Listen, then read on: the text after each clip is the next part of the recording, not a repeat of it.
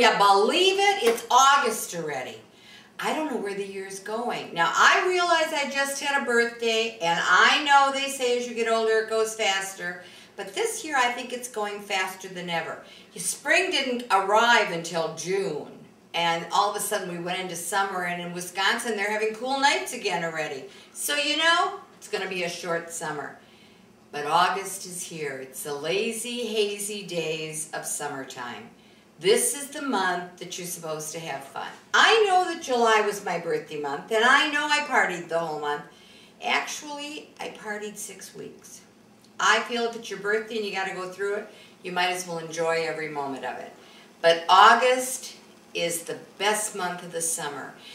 The kids have gotten all their vacationing out of their bodies. They've been off to sleepaway camp. They've seen grandma and grandpa. Now they're home and they're settling in, getting ready to go back to school. The teachers are getting ready to go back to school. We've had our vacation and now we're just laying around the pool drinking pina coladas. This is the month. Take some time. Maybe take a sick day from work. Stay home. Invite your girlfriends over to the house. August is a happy happens month. It's the month where everybody's supposed to be happy. Call up a few girlfriends and say, come on over, let's have coffee. Maybe make it 10. You don't have to do it at the quack of dawn. I just went to the grocery store. I bought fresh bagels. I bought some coffee cakes. In the old days, I, would have made them. But you know what? You don't have to make them. They just want a place to come and to sit around and just commiserate on what their life is like. And at the end of the day, when they all leave and take their troubles away with them, you're going to go, boy, am I happy I got what I got. It always, I always felt it made me feel better. Everybody has problems. Everybody rocks a rocky road periodically. But in August, we got to look for the happy.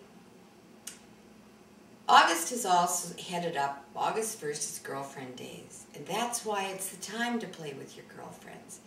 It's a time to enjoy. And I think that's what quacking is all about.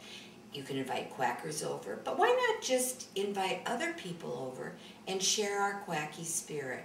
Share the joy that we have in our hearts. We're one of the blessed people in this world because we know what happy's all about. It's also the month they have a. I think it's August eighth or something like that. It's garage sale day. It's a good time to clean out the cupboards again. You know, your mother used to do fall house cleaning. I wouldn't get carried away. I'm not of the vintage that's going to put the rugs out on the back uh, clothesline and pound them with a stick. But it's a good time to empty out some of those nooks and crannies that have sort of built up over the summer. Remember, your trash is somebody else's treasure. So why not make yourself a little extra money? You know, might buy you another Quacker sweater. You just never, never know. And I think one of the best days of August is August 22nd. August 22nd is Angel Day. And I have to tell you guys, every one of you are angels in my life. You are the bonus to my business. I didn't expect this when I started Quacker Factory. Each one of you are an angel on earth, and we all help each other through every day. So on August 22nd, maybe that's the day to have your girlfriends over. Make a halo out of tin foil and a pipe cleaner. Give everybody their own halo. Make an angels. Get some fake feathers and, you know, make a pair of wings for one of them. Put some joy in this month. That's what it's all about. We're trying to make the website a little bit more fun. Now I realize it's not as interactive as we want it yet, but if you look, we have a whole new look and we're playing around with it and we're trying to get it so that it will be a little more interactive. We have Joe on there now. We have Lee on there doing In the Jeans. We also have Jenny, who is the quack in London.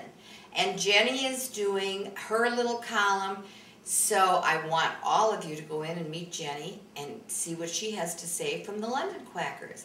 And I'm hoping that the London Quackers will click onto it and hear what the American Quackers are doing. It's sort of love across the sea. So I just think that we're doing lots of exciting things on, on the website. Also, we're going to start putting pictures on the website. So if you start sending me pictures with a little note saying I, would be thrilled if you use it on the website.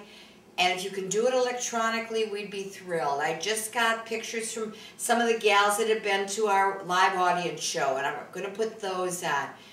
I also, um, two of the quackers, if you look in the pictures of my brothers, memorial service in Wisconsin on June.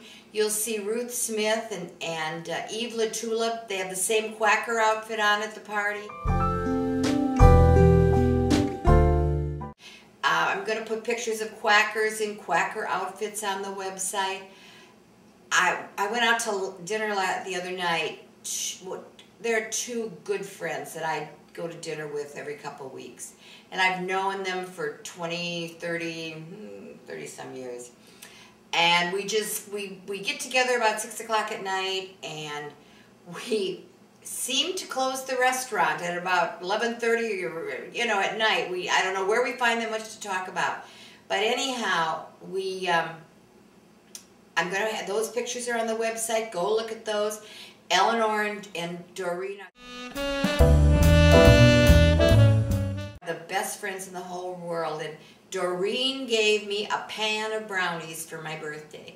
And they're her famous caramel brownies, and I put those on there so you have the recipe. I'm going to tell you, in the words of my children, they are numtogs. So this is August. This is Happy Happens Month. This is the month to let it all hang out, to have fun, brew up a good cup of tea or a good cup of coffee and invite your friends over and just enjoy life. Have a happy August. It's a Happy Happens month. Bye-bye.